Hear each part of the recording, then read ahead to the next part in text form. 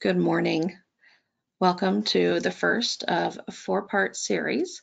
This is Victoria Beal with the Ohio LTAP Center, and I have with me my colleague Ron Eck from the West Virginia LTAP Center. And he, I would have introduced him last week as the former director of the West Virginia LTAP Center, but Ron has been reappointed to that position.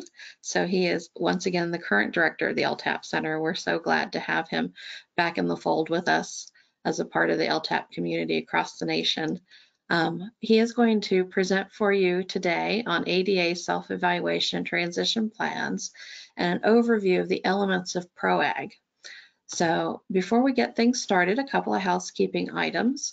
I would ask if you haven't done so yet, please look for the question box in the GoToWebinar panel and I always ask everyone to please drop me a hi or hello in there just to make sure you remember where it's at if you've been on here before or if you haven't been that you find it because this is how we're going to accept questions from you on the webinar today and all of our sessions regarding this topic.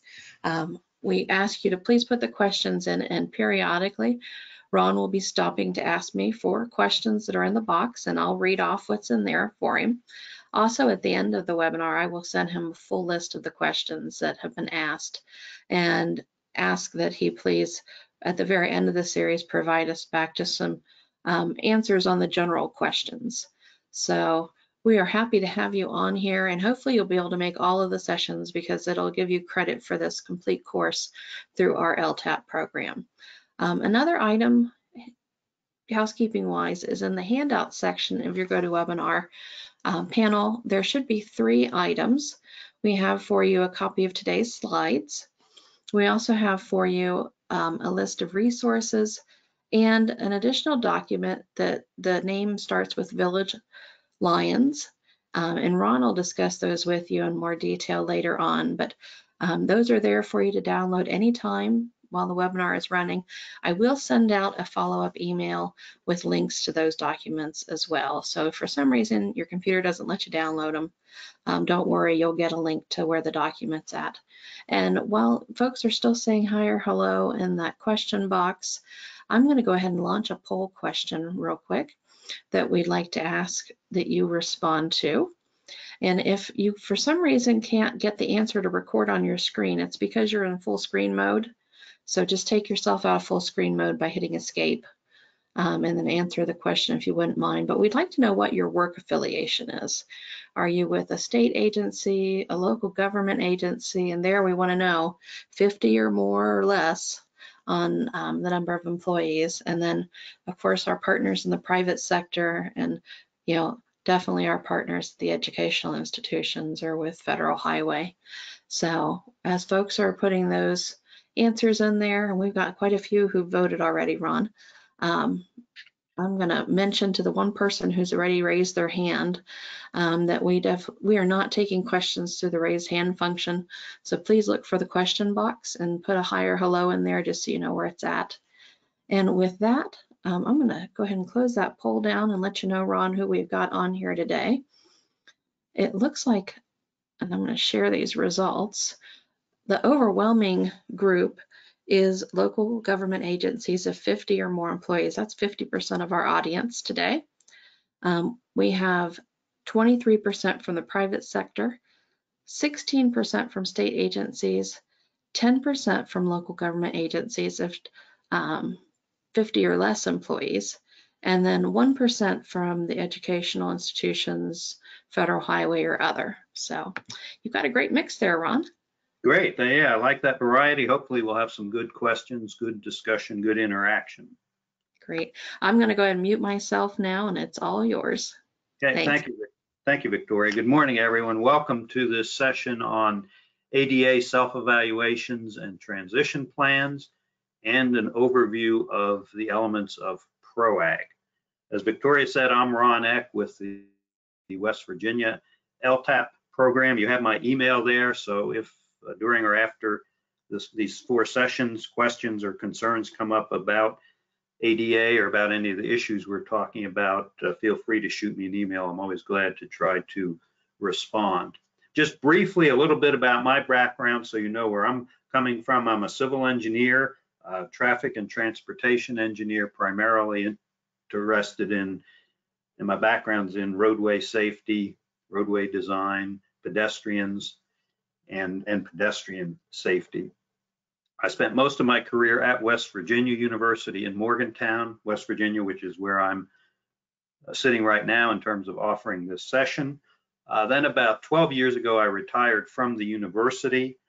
I, I, I love LTAP. I was director of the LTAP program in West Virginia at that time. I love LTAP, so I do training in West Virginia, around the country. Uh, a lot of, was doing a lot of in-person training before the pandemic. Uh, and and as Victoria mentioned, just recently I've been went back uh, to help out and am again the director of the West Virginia Center. But probably most significant for this class is a number of years ago I had the opportunity to spend a week outside of Baltimore, Maryland, in one of the suburbs on a Federal Highway Administration train the trainer class on the Americans with Disabilities Act. It was pretty intense week. In the morning, we were listening to the experts who would lecture to us. In the evenings, after dinner, we would have to lecture to the experts and they would critique us in terms of our presentation. But for me, the best part was the afternoons. We were out and about on the streets and sidewalks of this Baltimore suburb in wheelchairs. They blindfolded us and gave us canes. We had low vision goggles. And it was just a great experience to sort of simulate the challenges and the issues faced by individuals with disabilities. Obviously, we can't do that in this format, but if you ever get the opportunity to do that, even if it's just to sit in a wheelchair and you know go for a for one block or so, I encourage you to do that because it really makes you aware of some of the issues that uh, we'll be talking about today or that affect those with disabilities. So let's see. I can get my screen to move.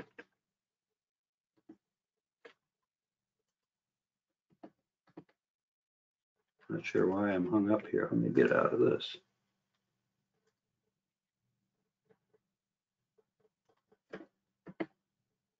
Hmm. I find sometimes just using the arrow buttons on the keyboard works. Yeah, that's what I'm doing. It's not working, huh? Okay. Usually after one or two. Maybe I should exit and escape and try again. Sounds good to me. It, it looks like one of the tools from GoToWebinar is on, and I honestly don't use those tools myself, so I couldn't tell you how to turn them off. But don't worry, folks. We'll be running here in a minute. Yeah, huh, I can't even escape here. Do you want to stop screen sharing Yeah, and then probably what I'll do is stop screen share here. That's fine. No problem.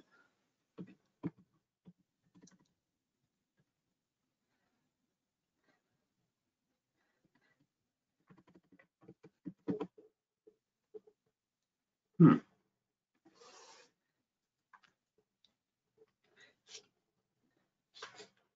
Worst comes to worst, I can always load up your uh, PDF and move it for you. I think we're all set, so let's see. All right. Can you all see my screen now? I can. Okay, I apologize for that. Oh, no worries. Other people can see it too. They let us know. Okay, there we go. Thanks, Ron. This is what I hope you'll get out of the four sessions, but that is by Thursday of next week. Uh, The course is really in two parts. This week, we'll talk about ADA self-evaluations and transition plans and associated matters. And then next week, we'll do an overview of the public rights-of-way accessibility guidelines. So after tomorrow, I hope you'll be able to identify a local agency's responsibilities under ADA, Section 504, and other laws. And I hope you'll be able to create or revise a self-evaluation transition plan for your agency's facilities in the public right of way. And you may see that acronym quite a bit over the next four classes. That's my acronym for the public right of way, P-R-O-W.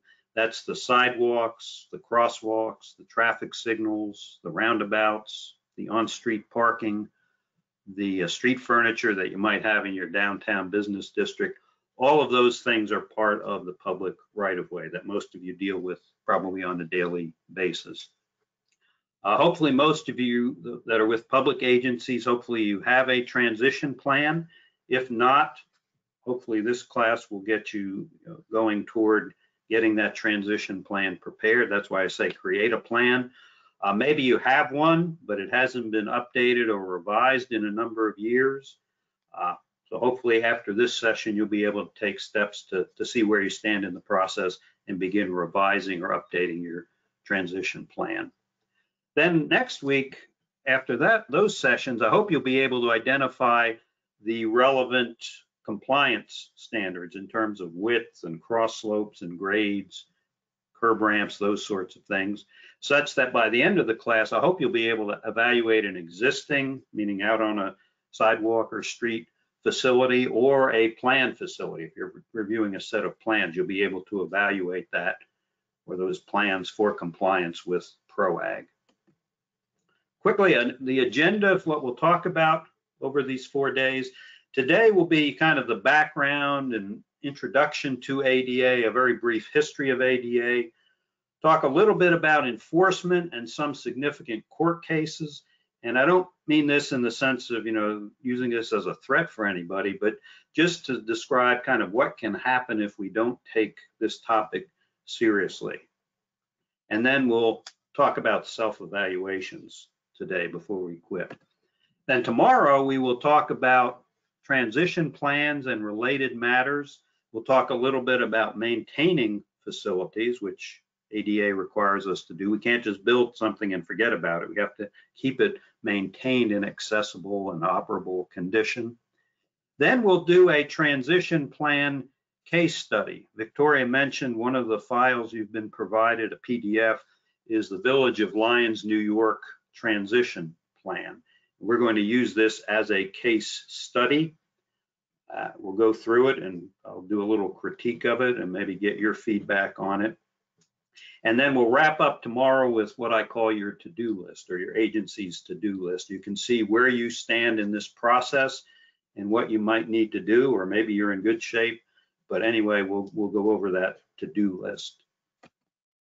And then next week, a week from today, we'll get into the overview of PROWAG.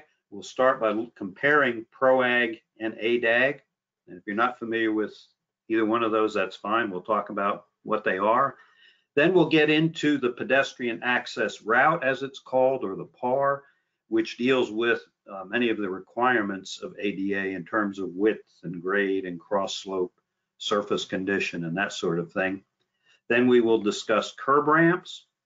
And then our final day, next Thursday, will be a potpourri of a number of different topics. We'll spend some time looking at detectable warnings, and I know people always have a number of questions about that. So we'll look at detectable warnings, and then we'll kind of do a quick review of crosswalks and median islands, roundabouts and turn lanes, a little bit about APS, accessible pedestrian signals, a little bit about street furniture and on-street parking, and then we'll wrap up with temporary traffic control.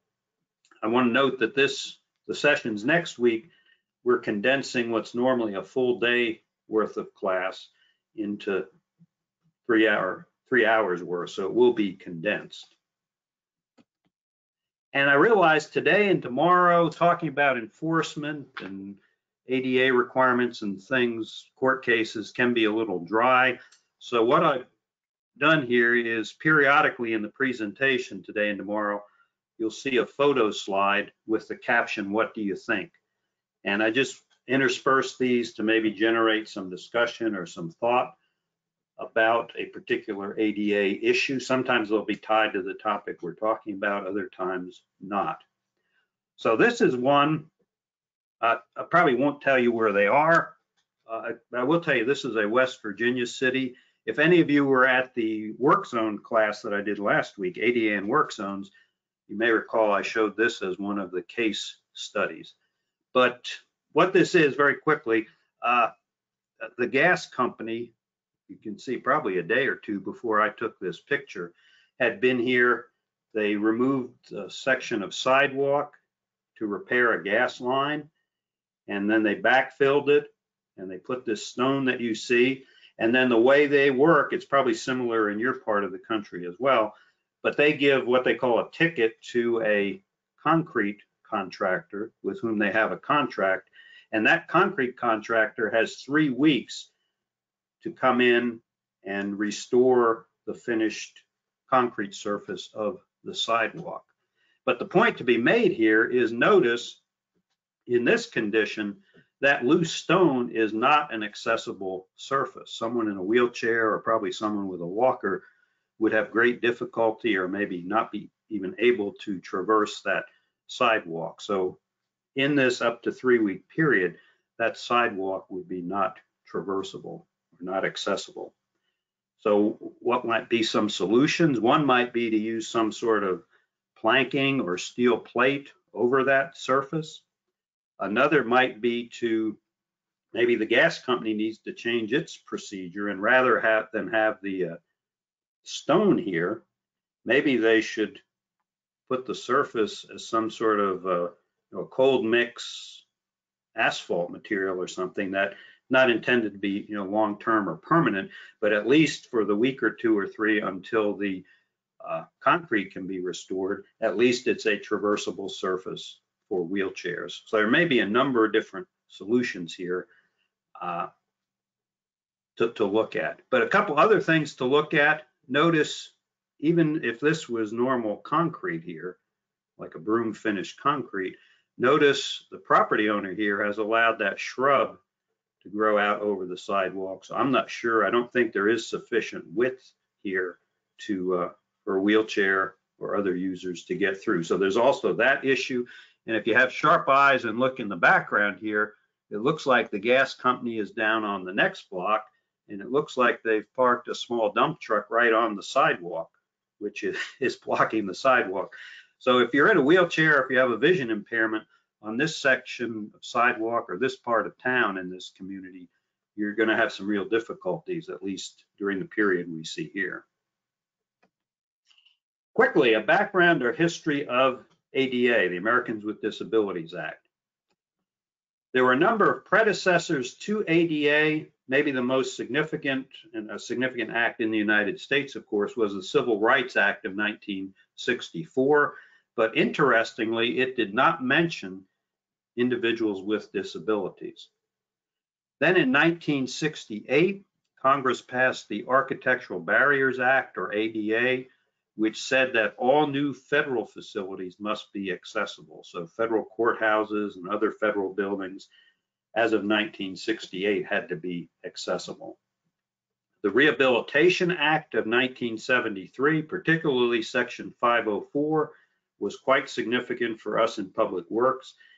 And one of the things it said basically that programs and facilities funded with federal dollars had to be accessible.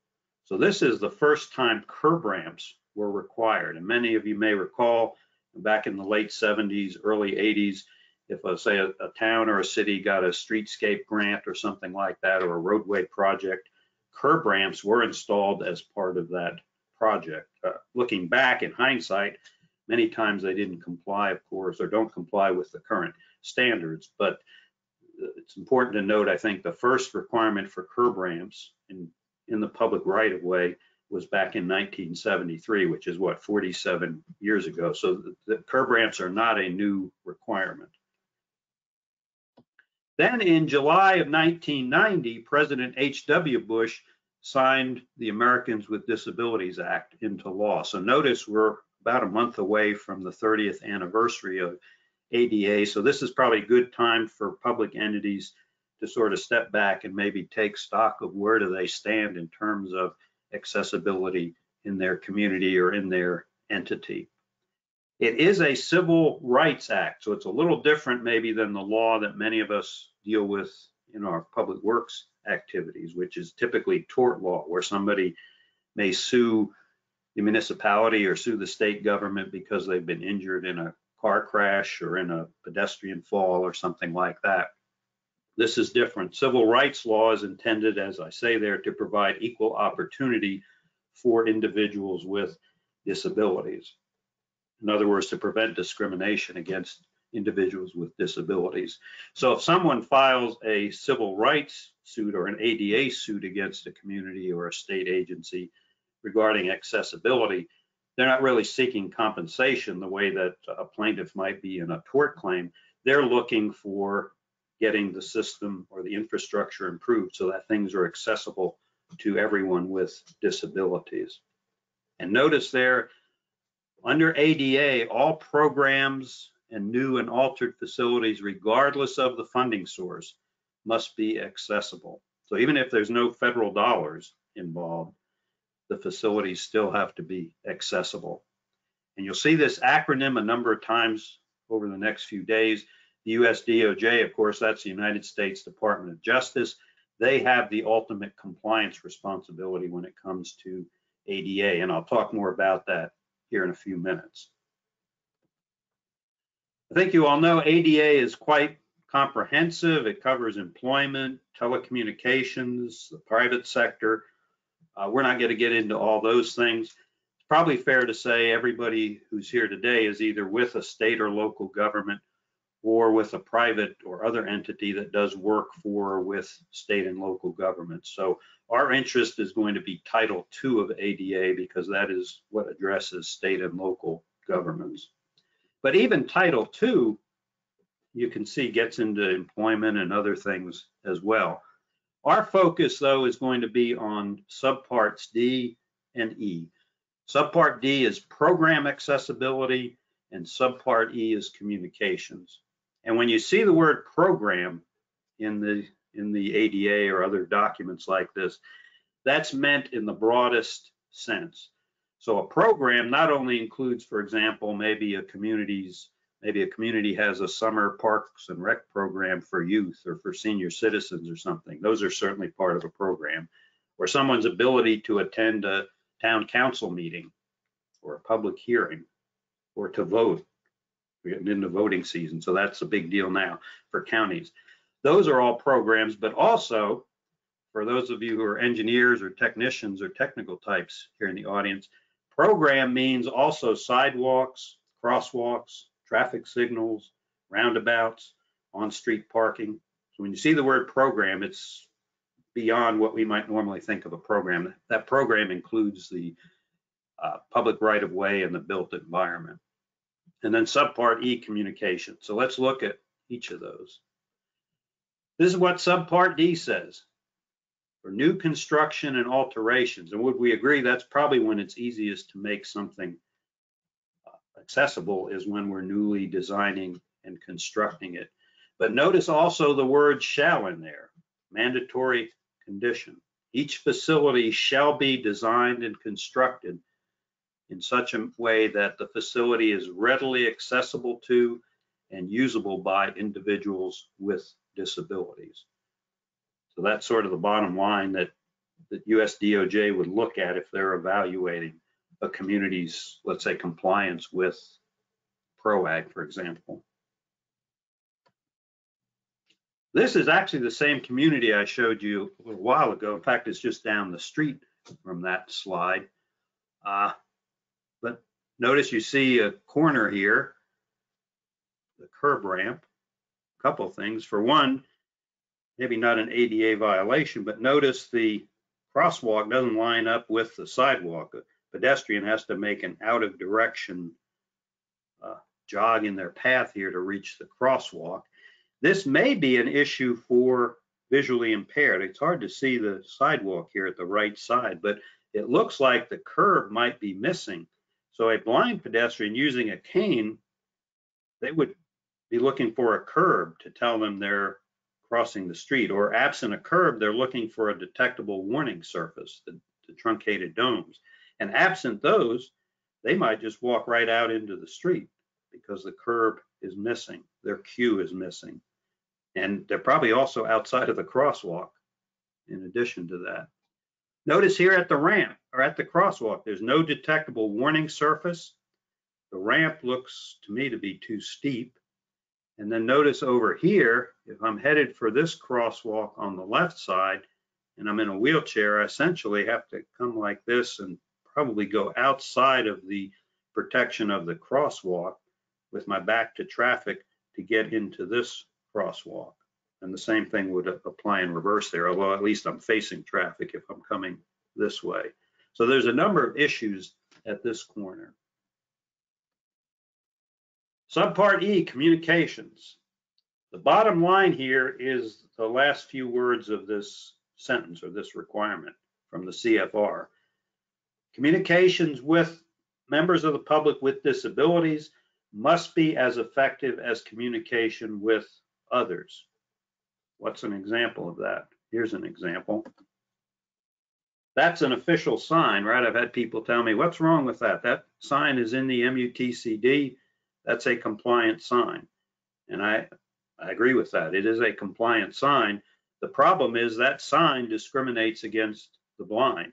They cannot see that sign. They cannot access the information on that sign. So if you're closing a sidewalk, and apparently I don't think they've started work yet, but they're going to be closing this sidewalk for some sort of maintenance or utility operation. If you're closing the sidewalk, you can have the sign, but you also need to have a detectable barricade here to let the visually impaired know that they cannot proceed any further and hopefully give them some guidance as to how to proceed. So it looks like we're at a corner here. I'd want the barricade to be close to the corner so that the visually impaired and all pedestrians can cross at the crosswalk here, probably to the other side of the street. And we'll talk more about all of these things. What about ADA, the law or the act? Uh, one of the predecessors to ADA was what's called UFAS. Maybe some of you are familiar with that, the Uniform Federal Accessibility Standards. I believe they were the first sort of federal accessibility standards. Uh, there may still be a few federal agencies today that rely on UFAS, but from our perspective in the public right of way, we don't need to concern ourselves with that, other than that you may see reference to that in certain documents.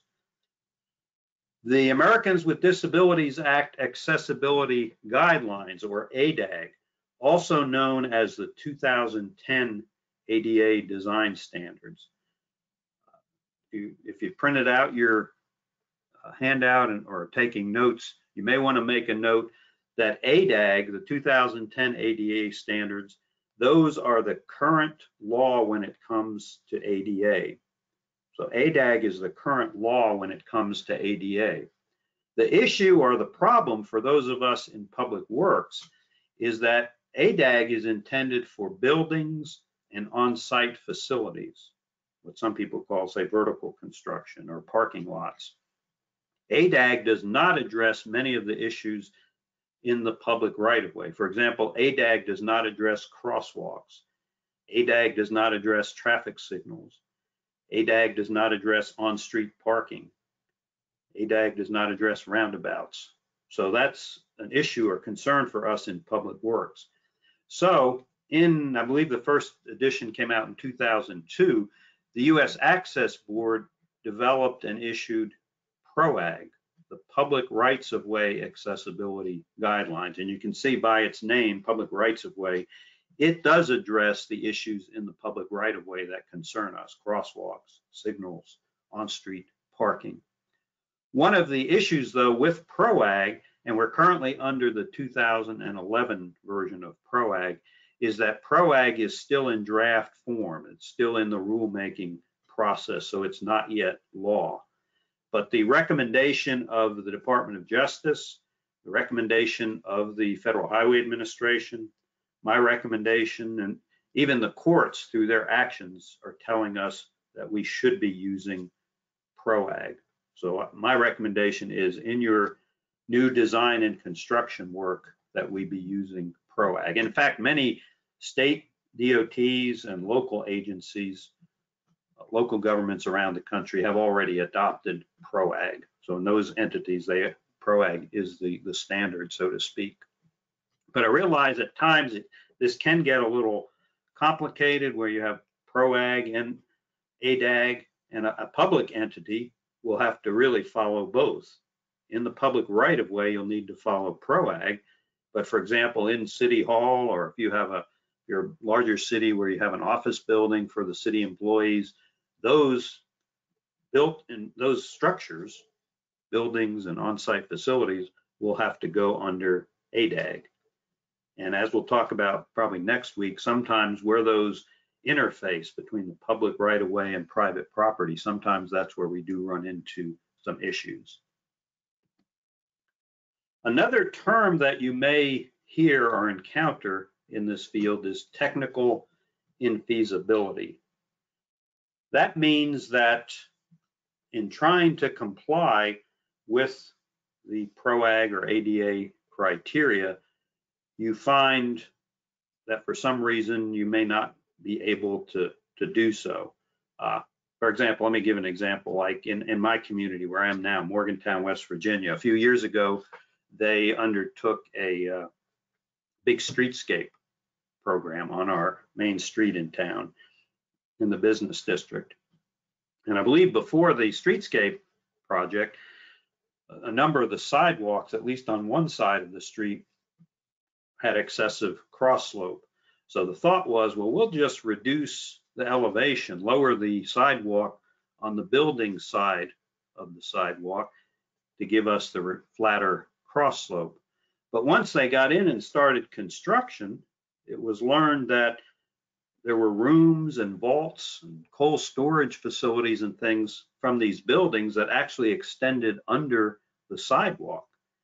And so by lowering the sidewalk, say by a foot next to the building, you were actually interfering with the use of these buildings and these vaults and so forth. That to correct that, you'd almost have to purchase those buildings, demolish them, and ADA does not intend for us to do that. So that's a case where it's technically, it may be technically infeasible to have a 2% cross slope on the sidewalk on that side of the street because to do so would require you know, purchasing and demolishing buildings. So a couple of things to keep in mind with technical infeasibility. You still, the agency still needs to provide an alternate access route to the maximum extent feasible. In fact, we probably should highlight that second bullet there. That's sort of the bottom line. That's what DOJ and enforcement agencies are going to look at if, if there be a complaint or something in your community or a lawsuit. They're going to ask, did that community or did that entity provide a, you know, an accessible facility to the maximum extent feasible? And to be able to demonstrate that, we have to have good documentation. So it's important that these technical infeasibilities or these, some people call them design exceptions, that they be documented.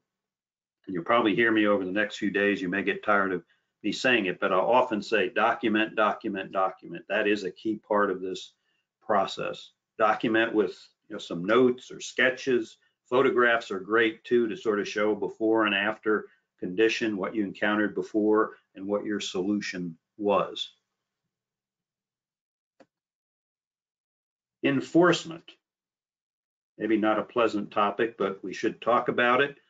I mentioned earlier that the main compliance agency is the Department of Justice.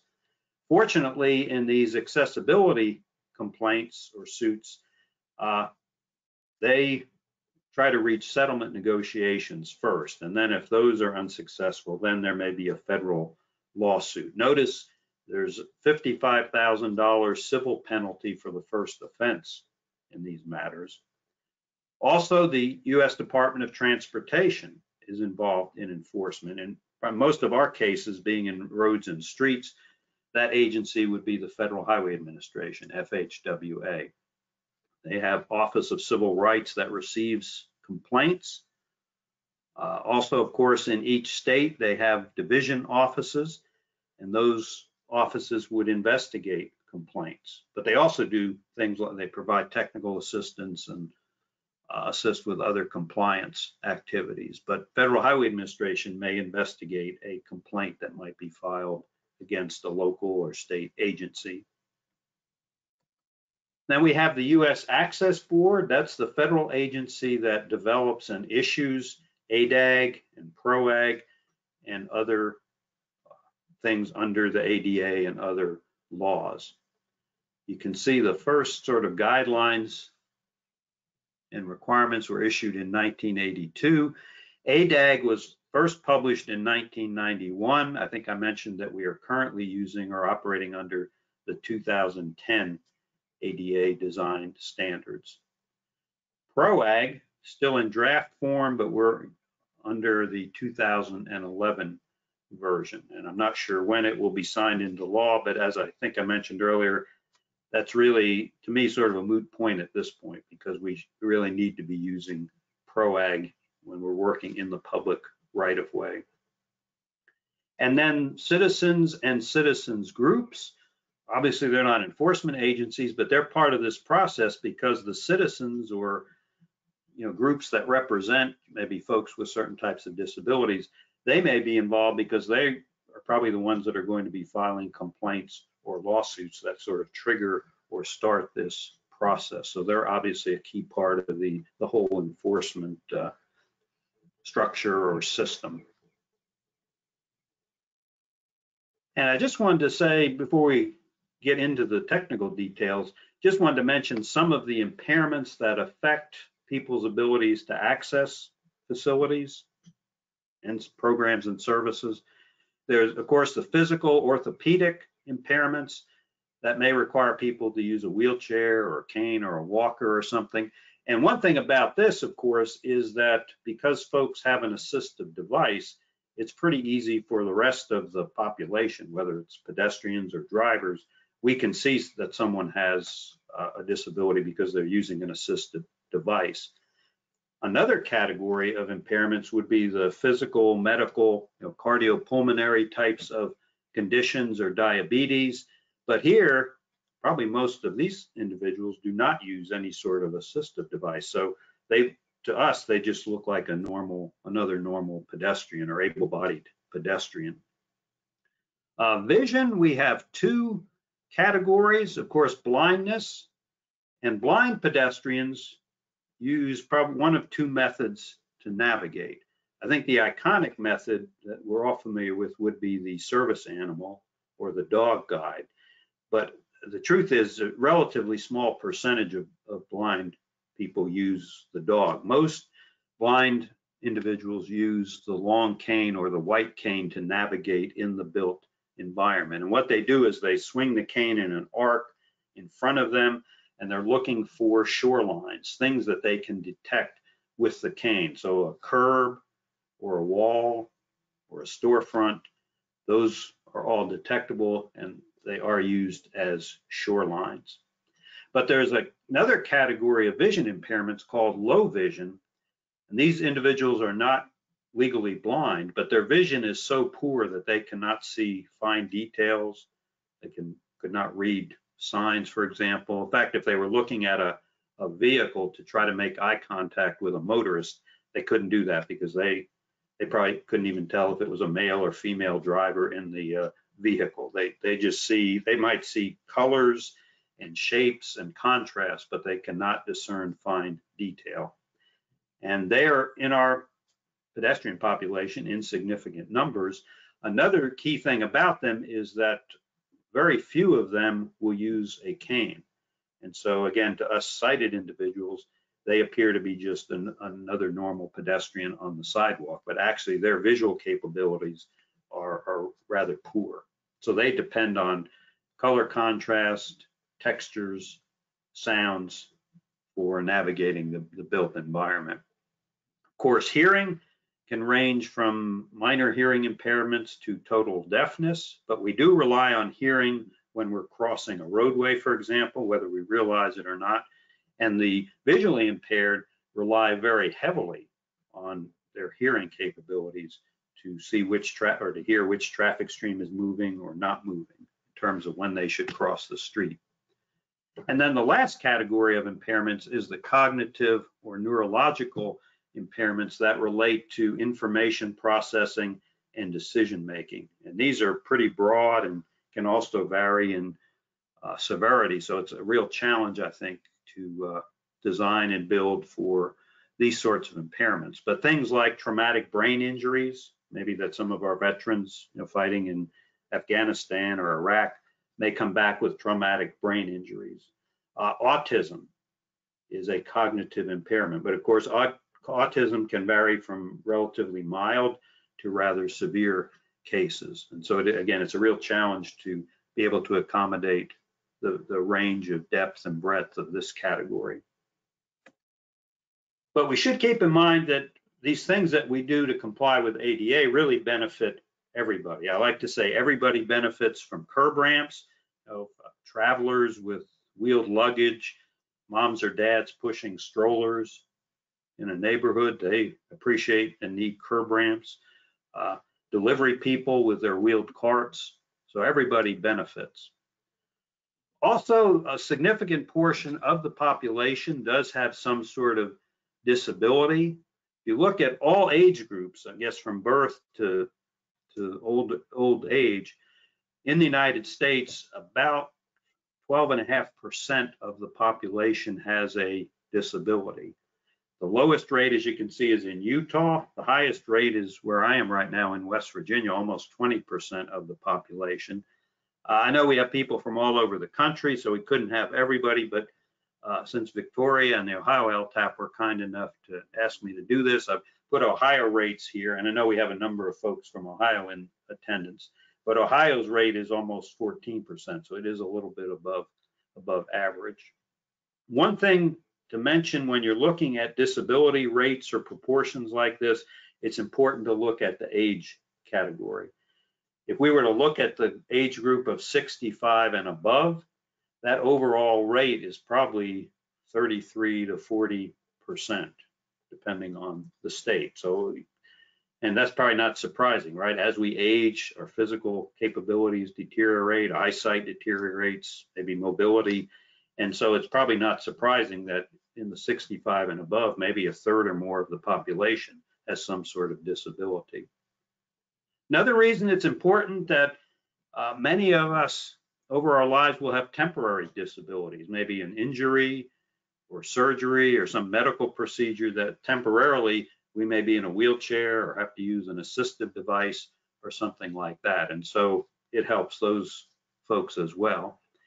And then just from an economic development, tourism standpoint, I, I talk to people all the time that want to, you know, develop their community into sort of a retiree community, attract retirees to come to your community and and live and spend their money. Uh, of course, if we're going to do that, as I just mentioned, a significant portion of retirees are going to have uh, these impairments or disabilities, so we need to make sure they can get out and about. And then last but not least, it is the law. And as we'll see, there are penalties and other things that or other consequences that are associated with not complying with the law.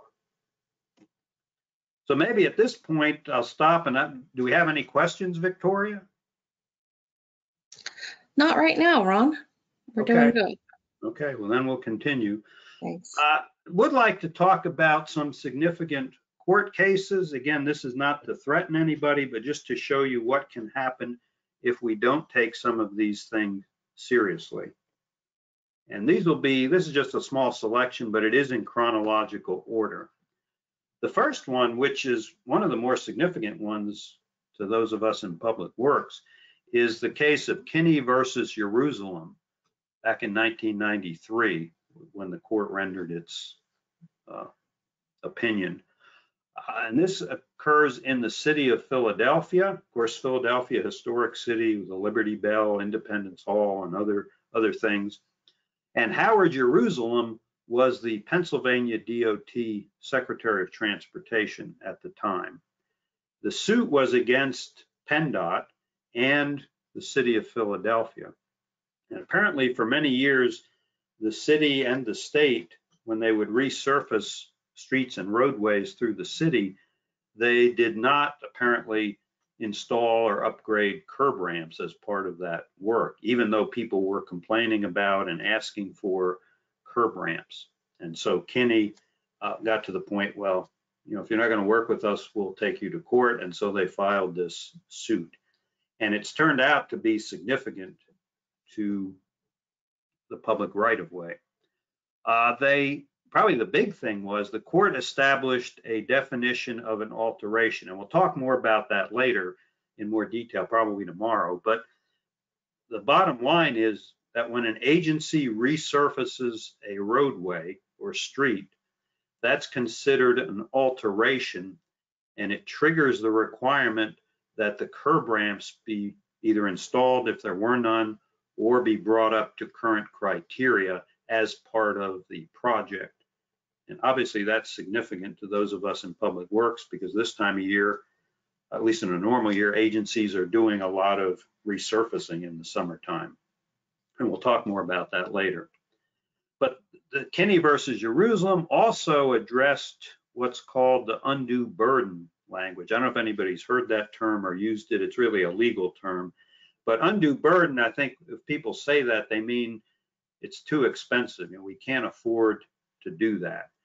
And I've heard that argument applied quite a bit. Maybe some of you have heard that or even used it, that as part of a resurfacing project, we just can't afford to upgrade the curb ramps and pave the roadway. But one of the things that Kinney versus Yerusalim, the court said, is that last sentence there. Notice that the cost of providing accessible ramps, meaning compliant curb ramps, is of no issue once an alteration is undertaken. So once you've decided to resurface a road or a street, even if the curb ramp upgrade costs more than the paving project, that's not an issue. The curb ramps still need to be brought up to the current criteria. So that was obviously significant. Another one that maybe you've heard about is Barden versus the city of Sacramento. This is 2004 case. Apparently Sacramento as well, uh, apparently they would resurface streets and not upgrade the curb ramps. There were narrow sidewalks. There was vegetation overgrowing the sidewalk. Uh, changes in level, maybe tree roots heaving up sidewalk slabs. They had steep cross slopes. Apparently some of their crosswalks were not accessible. And so Barden filed a suit against the city alleging these uh, you know, inaccessible features. And this this did not go to trial. The, the parties reached an out of court settlement prior to trial. But notice here in the middle bullet, this is pretty significant. It was agreed that 20% of Sacramento's annual transportation budget for the next 30 years would be allocated to pedestrian accessibility. So think about that. That's sort of what would you call it? External control of your budget. And also think about what are there? They're only 16 years in, so they've still got 14 more years to go where a fifth of their transportation budget will go to pedestrian accessibility. But also notice upgrades to curb ramps as part of resurfacing projects are not included in that 20%. So this certainly had a significant impact on the, the public works budget and streets budget of the city of Sacramento. But a common theme about both of these, both the city of Sacramento and Kinney versus Yerusalim in Philadelphia, was that really the agencies were not responsive to the public you know, requests or complaints for uh, removing barriers, removing obstacles to movement. Then moving up to 2008, we have a case, Californians for Disability Rights, Inc., CDR versus Caltrans. Caltrans, of course, is the California DOT, the state transportation agency. And here the plaintiff said that Caltrans had failed to survey its 25,000 miles of sidewalks and therefore could not know what access barriers existed. Or to put that another way, the state did not do self-evaluation. That's the purpose of a self-evaluation, as we'll talk about shortly, is to survey and to identify your barriers and obstacles. And then what the courts also said is that lack of a transition plan by itself is a violation of ADA. So it's important that agencies have an up-to-date transition plan. And I, am not going to ask, uh, but if there's agencies represented here in the audience that don't have a transition plan, my recommendation would be to get started on that as soon as possible. I mean, even this afternoon if you can. Or actually what I would do is part of a transition plan is you know, training, training of staff. The fact that you're here this morning, signed up for this session, uh, that shows a good faith effort to understand this process. So claim this session this morning, your attendance here as the beginning part of your transition plan. But they, they are important, especially now that we're at the 30th anniversary. I think maybe, you know, FHWA and others may be taking a closer look at do agencies actually have a transition plan prepared and is it up to date? And then in 2009, we also have another Californians for Disability Rights case against Caltrans. I'm not going to read all this, but I just wanted you to see the magnitude here of what was determined in this case that Caltrans will need to spend over a billion dollars over 30 years addressing curb ramps and sidewalks, audible signals, crosswalks, and even temporary pedestrian routes, meaning when there's construction, maintenance, or utility work on a sidewalk, they needed to address that as well. So these are significant, and uh, I mentioned earlier the kind of the difference between a tort claim and a civil rights claim, but I think you can see here in these civil rights matters, one of the things that can happen that won't happen in a tort claim is that the courts or DOJ will sort of take this external control of your budget and they'll uh, determine how funding will be allocated. The DOJ also has something called Project Civic Access, where they will go around the country, uh, maybe a few states or a few locations a year, and they will do kind of a detailed review of, as you see here, the buildings and building sites in a community or a county. Uh, they'll look at the public right of way, they'll look at parking, but they'll also look at things like communications, like the agency's website, signage around your buildings or in your buildings. And the ultimate goal is so that counties, cities, and towns bring their facilities into compliance. Uh, maybe some of you in the audience have had a visit with Project Civic Access. Uh, if, if you're interested, if you just Google DOJ Project Civic Access, the website shows you everywhere they, the DOJ has been in, in all 50 states.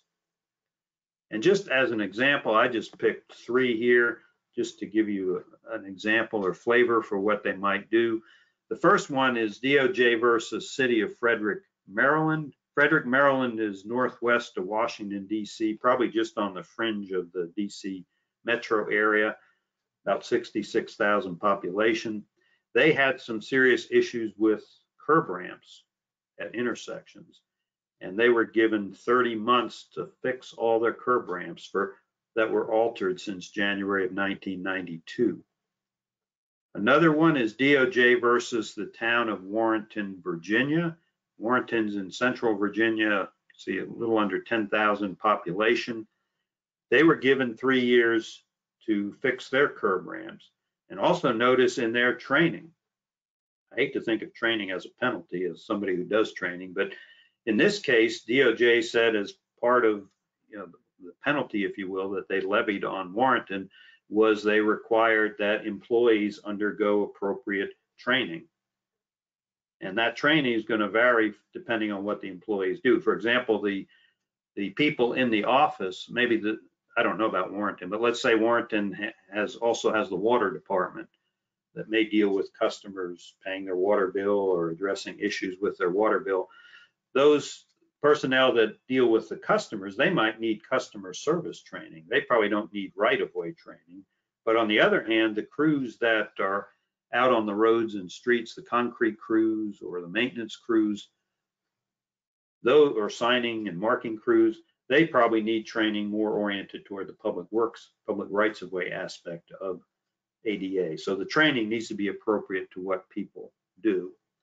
And then my last example is in here because sometimes people will tell me, well, my community is so small, we don't have to worry about this. Nobody will find us. Well, this is DOJ versus Craig County, Virginia. The whole county only has 5,200 people. It's in rural southwestern Virginia. But DOJ came in under Project Civic Access and examined their uh, facilities. And they apparently had issues with curb ramps at buildings, maybe the county library, county courthouse, and so forth. And so they were given one to three years to fix those ramps. So the sum is, notice there's penalties, there's fees, and then there's that external control of priorities. That are some of the consequences that can apply if we don't take this seriously. So here's another West Virginia community. And I, I was not there for the paving operation, but you can see that this street was recently resurfaced. I would guess that it was probably done within two weeks before I got there to take this photograph. And if you remember Kinney versus Yerusalim, when a street is resurfaced, the curb ramps need to be brought into compliance as part of that project because resurfacing is considered an alteration. Well, we have a curb ramp here, but it doesn't look too compliant to me. Notice there's no detectable warning surface, nor is there any level landing, which is critical for when one is turning a wheelchair or turning a walker, in this case to cross the street. Uh, I mentioned earlier, if you ever get a chance to get in a manual wheelchair, you should do it. This is one of the things you should try to do is try to turn a wheelchair going up or down a grade like this. And it is not a trivial task, it's a very taxing task. So it is important to have a level turning space. So that should have been done, those improvements should have been done as part of this paving project. But also, if we look closely, I'm not sure the ramp is even accessible because notice that this is Main Street of this community out here on the upper right. So this would be the sidewalk along Main Street, which would be a pretty important sidewalk in terms of pedestrian movement. Uh, but notice that with this lamp post, with this column here and part of the structure, I don't think somebody in a wheelchair can actually even get to the curb ramp via the sidewalk. It appears that they might be able to enter this vestibule or whatever we want to call it here behind the, you can see the bicycle park there and get to the ramp this way. But that appears to involve using private property as part of your accessible route, which may be okay if you make appropriate arrangements. But what happens if the ownership changes or if the building is reconfigured or something like that? That may adversely affect how people can access this ramp. So there's there's actually a number of issues at this location. Any questions up to this point? Victoria, any questions come in? That was perfect timing, Ron. I was just going to send you a message to tell you I had a few. Okay. So the first one is, does PROWAG address how to determine if sidewalks are required in a particular neighborhood? Good, excellent question. Actually, PROWAG or ADA does not require us to install sidewalks. What they do say, of course, is that if we install sidewalks, we need to make sure that they are constructed to the appropriate criteria and that they're maintained in accessible condition. And so that raises a good question. And I probably should have said at the outset uh, a couple things.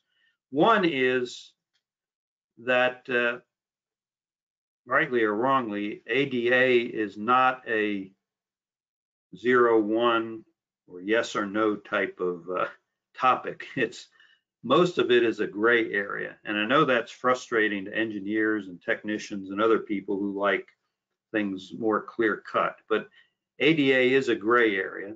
The other thing I would say is that this whole field as well is very context sensitive.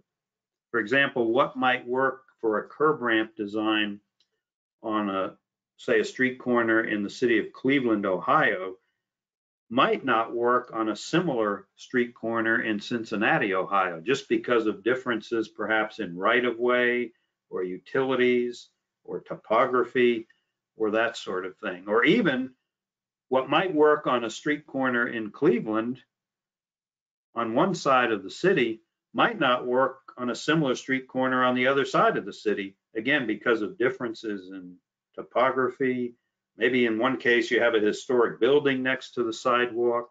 There may be drainage issues. Uh, and in fact, it's fair to say that what might work on one, say on the northwest corner of an intersection in Cleveland, might not work on the southeast corner, which is diagonally across the street from it. Again, because of differences in topography, uh, utilities, drainage, and what have you. So you really have to look at each location individually in its specific context uh, to answer or to determine your design. So I say that because if some of you ask questions about a specific location, which I hope you do, I'm not trying to discourage that, but my answer might be, it depends. And I'm not trying to put you down or not trying to be a smart aleck, but we, the answer really does depend on the specific circumstances.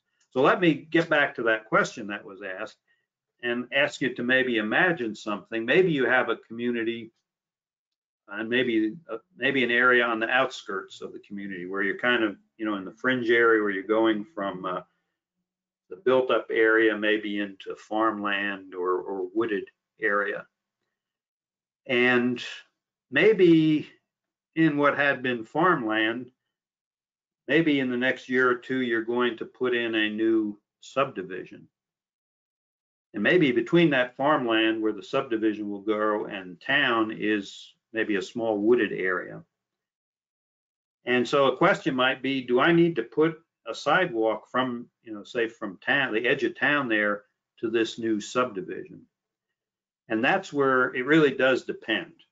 Uh, let me give sort of two extremes. One might be, let's say you go out there or you're familiar with that area and maybe you've never really seen pedestrians walking along the road at that wooded area.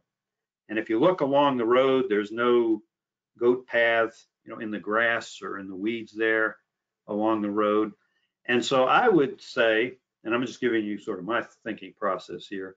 I would say it looks to me like there's really right now there's no pedestrian demand here. So I'm going to make the decision not to put a sidewalk here for right now. And I, I document that. But let's say I was out there doing that same sort of thing and maybe in the half hour while I was out there examining the area, maybe I see a couple pedestrians walk along the side of the road. Or maybe I get out of my car and I look alongside the road and there's kind of a well-worn goat path there where it's evidence people are walking, you know, in, enough to wear down the grass, wear out the grass there. And so to me, that's evidence of pedestrian activity. So in that second case, I would probably call for a sidewalk there, even though you know, under PROWAG, we don't have to. But in that second case, because there is evidence of pedestrian activity, personally, I would probably put a sidewalk there. Other questions? Okay, there's one I think is referring to a picture that you might have had up. It says, is it too far from the cross street stop line would have to be far back? So I, I read that off. I don't know if it's a reference to a picture you had up. Maybe they can Yeah, I some- wonder, I I wonder if they were referring to this one. Well, Betty will have to comment and let us know. I'll go on to the next question and then um, Betty can provide us uh, some additional comments. The Well, can I use this one, Victoria, just because I Oh, think he, maybe. yes, that's that picture. Yes, Okay. she it. Thanks. Yeah, does everybody see that? Notice because of where the curb ramp and the crosswalk is here, the stop line, which would be over here on the far left, you can see my cursor, the stop line is pretty darn far back from the intersection, right? That, and that's not a good thing. And I'm not sure why this municipality didn't have the crosswalk just be the extension of the sidewalk here on, on Main Street. But yeah, that's another, uh, problem here is that the stop line is just so far back from the, the intersection. And was there a question associated with that, Victoria? No, I think that was just a, a comment that was made. Yeah, I would agree with that comment, definitely. Okay, and then um, the next one that was a question. If local ordinance requires sidewalk to be maintained by the adjacent owner, is the city still required to upgrade the ramps when resurfacing? Uh, in my opinion, yes. Yes. Yeah, because even in cases, and again, I'm an, an engineer, not an attorney, but I have taught classes from time to time with attorneys in the civil rights area who work with PROWAG and ADAAG. And the impression they've given me is not only at the corners, but even say in the middle of a, a block, if you have a big maple tree heaving up the sidewalk slab, and if, if someone filed an ADA complaint, and it, you may have ordinances that say it's the property owner's responsibility to fix that. I think ultimately DOJ would say that liability falls on the, the municipality or the city or the town because this is part of the public right of way. And certainly at curb ramps, I think the same thing would apply. The DOJ would expect that the, it would be the governmental entity that would need to, to make sure there's accessible curb ramps and accessible sidewalk between those curb ramps. Okay, Ron, I can just keep going with these questions. So you let me know when you need to keep moving. Well, have- let me keep moving, and I think we'll have time at the end for some questions. All right, I've got plenty of them. Thanks. Okay, good. Keep the questions coming. So now let's look at self-evaluations, which is sort of the first step in this self-evaluation transition plan process. Just some uh, legalese here, I guess, if you will. These are required of all public agencies or all public entities. Notice the due date was January of 1993. So hopefully everybody complied with that. But what's required is that public agencies need to evaluate their current services, policies, and practices and evaluate the effects thereof that do not or may not meet ADA. So to put it kind of in public works terminology, we need to identify barriers and obstacles to accessibility in the public right of way, like a heaved up sidewalk slab, like I said, or a lack of a curb ramp. But one thing I want to emphasize is that in this session that we're doing here, that I'm doing, I'm focusing on the public right of way. But an agency doing a self-evaluation would have to look at all its programs, services, and facilities. So you'd have to look at City Hall. And maybe, maybe there's a step to the front door of City Hall so that someone in a wheelchair can't get into to City Hall. That would be the type of barrier that would also need to be part of the self-evaluation. So everybody clear on that? I'm going to focus on the public right of way, but an agency would have to look at all its programs, services, and facilities. Or maybe to the door to the city council chambers, maybe on the second floor of your city building, maybe has a lip that's a half inch high and someone in a wheelchair can't get into to attend a council meeting. That's the same sort of thing that would have to be identified in a self-evaluation. But I'm just going to focus on the public right of way. So here's a scene from Pennsylvania, a small city in Pennsylvania. This big brick building here is a is the high school in the city. The cornerstone when I was there said it was built in 1929, so it's pretty old. Uh, in recent years, they added an addition over here on the left side to the building and a big parking lot just out of sight here on the left. So this is a brand new driveway that was built when they built the new parking lot, and that was all done as part of the addition to the back of the high school. But what do you think there? And there had been for decades, there had been a sidewalk along this street here. But notice this. I don't know if this was a design or construction issue, but wouldn't you agree somebody dropped the ball? that the nose of that island should have ended or should have been back here. Now this island obstructs that sidewalk such that even able-bodied pedestrians and people in wheelchairs and walkers have to go into the street to continue on the sidewalk. I mean, not only is that an accessibility issue, that's a safety issue to me. Maybe safety is a bigger issue here than accessibility because someone can still get around it but to get around it, they have to expose themselves to traffic conflicts. And then also, and we'll talk more about this uh, probably next week, but there, it's hard to see. There is a sidewalk here and it ramps up and there's a sidewalk that goes around the perimeter of the parking lot that you can't see here. So this is a ramp here. You just see a small portion of it. Uh, the designer maybe had some ADA training, but maybe didn't appreciate the finer points. the designer put a detectable warning surface or truncated dome pad here. We'll talk more about this, but these, to a blind and low vision pedestrian, these are hazard alerting mechanisms. It tells the visually impaired pedestrian that they are about to cross a street or a road or a railroad or something like that. But notice here, there is no immediate street crossing. They're not at the street here. They still have, what's that, maybe 10 feet to get to the street. And actually, I would argue this is the middle of the block and there's no marked crosswalk here. I don't want pedestrians, especially blind pedestrians, crossing in the middle of the block. So this is really an extraneous uh, detectable warning surface here. There's no need for that surface, and it can be potentially confusing to a blind or low vision pedestrian.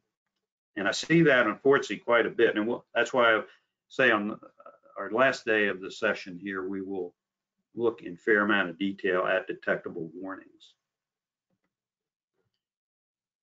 So now we're still talking about self-evaluations, but we're kind of grading into or transitioning into, no pun intended, into transition plans.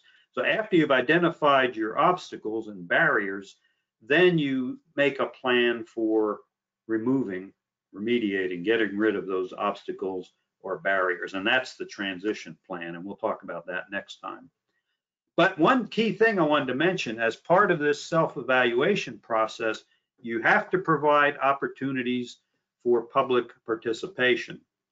And more specifically than that, not just public participation, which is important, but you also have to make sure that you reach out to individuals with disabilities and organizations that represent individuals with disabilities.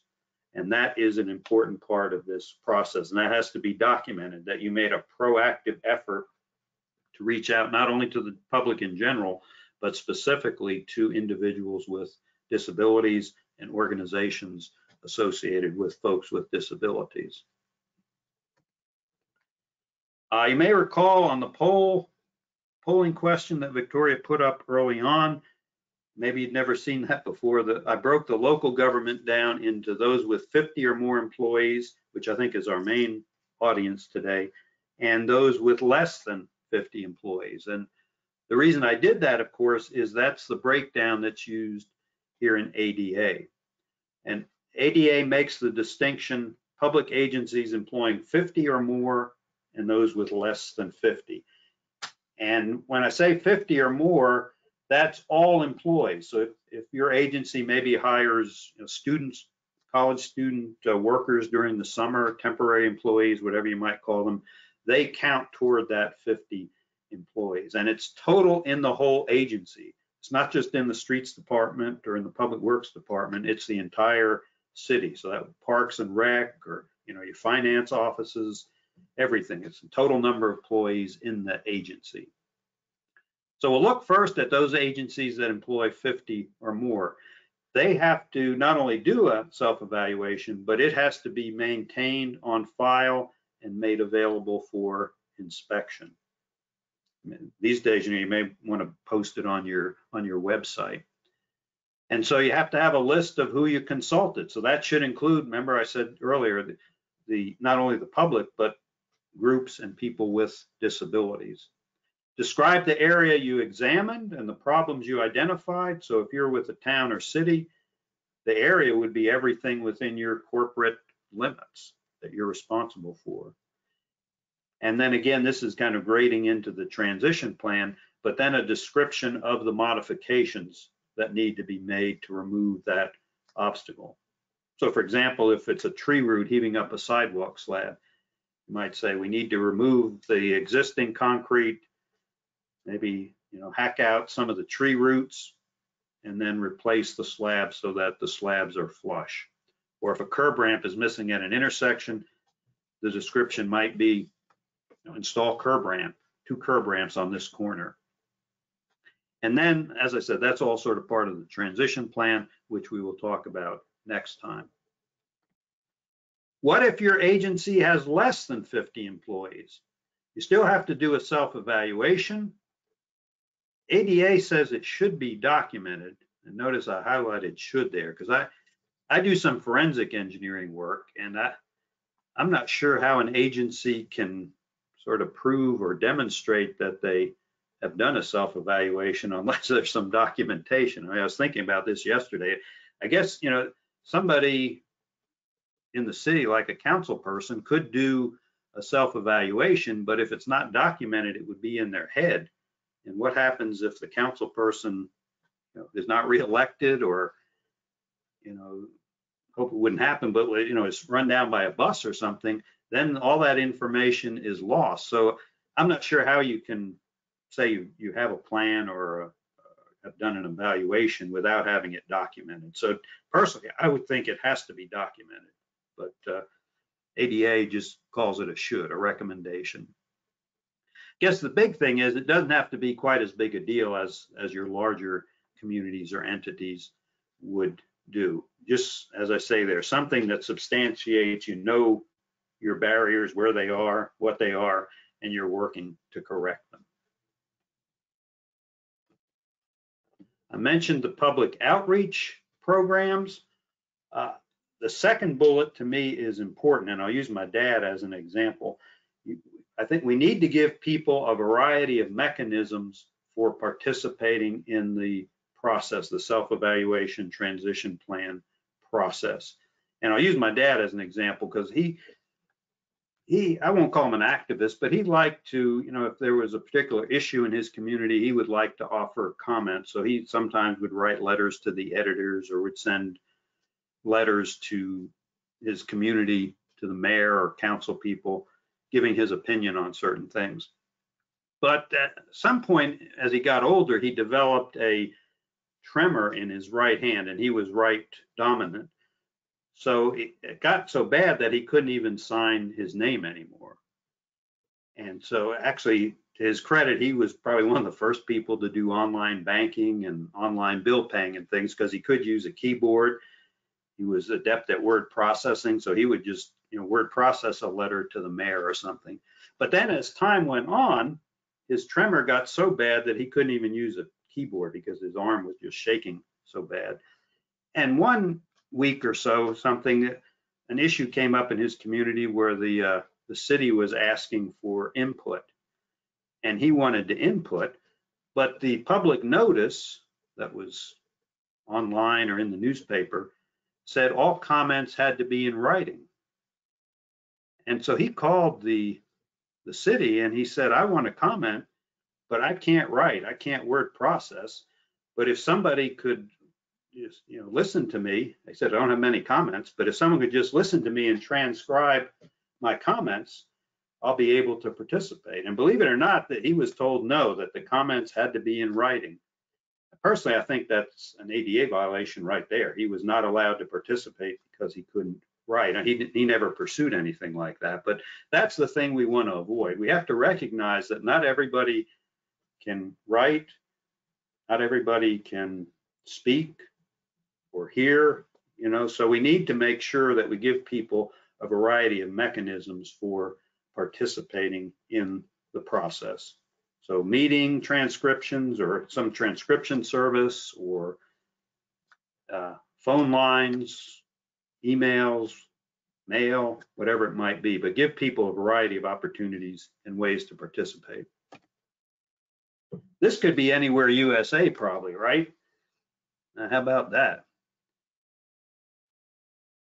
Before the session started, Victoria and I were talking about the issues faced by utility poles. How about this one? This get bonus points, I guess. Here we have double utility poles side by side. So clearly there's not a four foot clear space where even an able-bodied pedestrian can walk around that corner there. They have to go into the street. And then notice the signal controller box on, mounted on the pole.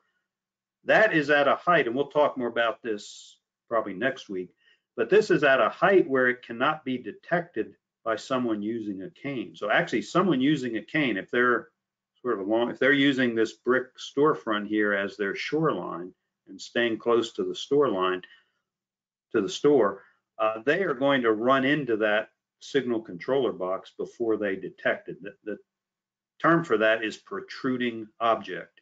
It's something that protrudes into the pedestrian circulation area at a height that is above the cane detection height. And so that's a serious issue as well. That's a safety issue as well. And what we might do here, uh, this is just one way, this is not the only way, but one thing we can do to resolve that, uh, well, two things we could do. One thing, of course, is we could have a ground mounted controller box so that it's not elevated like that, but that's probably expensive to do. But one thing we could do is put maybe a five inch high curb in the footprint of that controller box, directly under the box, so it wouldn't be a tripping hazard. But by putting a curb under there, now that controller box is detectable. The blind pedestrian's cane will hit that curb and they'll realize they can't proceed straight through this, this area. Obviously, they still have issues trying to get around that, that pole. So this, this is not a good situation. So here you, you do have, maybe some of you read it already, maybe not, but uh, I would like to give you a little homework assignment for tomorrow. And that is one of the files you have is the Village of Lyons, New York transition plan, their ADA transition plan. And tomorrow we are going to discuss that as a case study. So if you would, probably will take you maybe 10 or 12 minutes to read. If you would read that before class tomorrow, I'd appreciate it. I realize folks may have, you know, work and family obligations, but if so, maybe, you know, maybe try to log on 15 minutes early tomorrow morning. And while you're waiting for Victoria and I to come on at, at 10 o'clock, maybe read the transition plan during that time. Uh, one thing I want to note to be clear about is because uh, sometimes I get questions of where can I get a good sort of model transition plan. And I don't mean to embarrass or put down the Village of Lyons. Uh, we're, we're using this kind of in the spirit of learning and education to see what lessons we can learn. But the transition plan you have is not a model transition plan. The reason I picked it is because it has some things that we can critique and talk about and hopefully learn some lessons from that. But if you would read that by tomorrow, I'd appreciate it. Also, one of the handouts you have is a two or three page resource list that has a number of links related to ADA and PROWAG and transition plans. And also to, I also mentioned the uh, ADA National Network. There's a network of regions around the country, and uh, they are a great resource when it comes to ADA. So if you're not familiar with that, uh, you can see from the map on the handout which region you're in and uh, find that your region, find their website and get become familiar with the resources that they offer. So with that, I think we have some time left for questions and we still have questions coming in, Victoria. We do, Ron. Um, let me get to the first one here. It says, will you be talking about requirements for audible traffic signals over the next week? Yes, next uh, Thursday in our last session, we will talk about that. Okay, the next question, do all street corners require a ramp even if there is no crosswalk? Good question. And the answer is not to be a wise guy. The answer is it depends. If there is a, let's say it's in town and it's a street corner, and on the other corner is another built up corner and a sidewalk, maybe through a residential area, yes, you definitely need to have a curb ramp, even if the crosswalk is not marked. Although if you, I forget the exact wording, but if you mark a crosswalk, then you really have to be sure that you have accessible compliant curb ramps on either side, because that, that's a serious ADA issue. If you have a marked crosswalk, but no ramps or non-compliant ramps. But let me give another situation. I'm not sure this is what the person was asking. But remember earlier I talked about sort of a situation on the edge of town. Let's go back to that again. Let's say you have a corner on the edge of town and maybe there's sidewalks on both streets that come together. So the, the sidewalks meet at right angles. And maybe there's homes behind those sidewalks. But let's say on the other side of the street is just is a farm field and there's no sidewalk a question then comes up, do I need curb ramps at that corner I'm talking about that has the sidewalks? And that's one of the gray areas. And there's really two schools of thought. And I think both are correct, but uh, one school of thought would say, well, there's no sidewalk on the other side of the street. And maybe the road is narrow, maybe there's really no shoulder. And so I would think in my thinking process, do I really want to send someone in a wheelchair out onto that roadway? They're going to have to be in the traveled way to, you know, to proceed further down that roadway. And I might make the decision, no, I don't want them in the roadway at that location. So I would basically make sure that that corner where the sidewalks intersected, that there was a detectable end to the sidewalk, like meaning a grass strip around that whole corner so that someone would never get to the, the curb. And that way, I'm saying there's not an accessible route beyond that point. But another school of thought, and I have to admit, I'm more and more, I guess, moving to this Uh, belief myself. Another school of thought would say, well, it's possible that someone may be in the roadway there on the outskirts of town in a wheelchair, and we need to give them the opportunity to get to the sidewalk. And so they would put a curb ramp in at that corner, even though there's no crosswalk or not even a sidewalk on the other side of the, the street. So I don't know, just wanted to share my thinking on that. That's one of those gray areas where I don't know that, you know, one is right or one is wrong, but uh, I think whatever I would do is I would, again, document, document, document, document your thought process of why you decided to put a ramp there or why you decided not to. But remember, if you don't put a ramp there, there needs to be a detectable end of the sidewalk for the visually impaired because they can detect that curb when they get there and they think that they can just proceed straight ahead. But if there's no sidewalk or really no shoulder on the other side of the street, my thought would be I'm not sure I want to have visually impaired pedestrians proceeding that way. But if there's a grass strip around the sidewalk, they can detect that with their cane and realize that they have to turn, say, left there or or maybe there is a curb ramp crossing the other other roadway. Okay, Ron, I know we're getting close to stopping time, so it's up to you if you want to take this last question. And it's actually a couple people that have asked it. Um, is there a specific time frame on when um, evaluations should be done, like the frequency for those? Good question. And that question, is good lead into next class too, because some people ask that same question about uh, transition plans that they need to be updated, but people ask how often. I would say, uh, I want to make sure I get my wording right.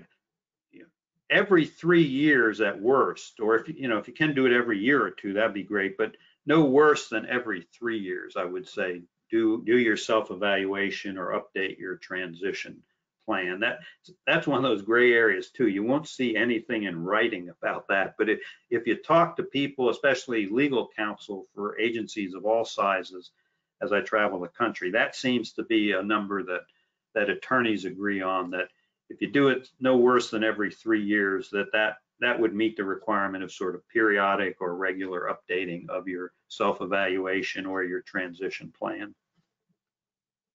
Okay, well, I, we are right up on 11:30, so I want to thank you so much for the excellent start to this webinar series. It's going to complete a course for all of us. And we will be sending the questions that we didn't have time for over to Ron for him to review before our session tomorrow. So please make sure you get your homework done if you've got some time. And Ron, is there anything else you wanted to add? No, I just want to thank everybody for participating and for the great questions and look forward to hearing from everyone tomorrow. Absolutely. All right. We will see everyone on their the call tomorrow. Thank you. Have a good rest of your day. Bye-bye.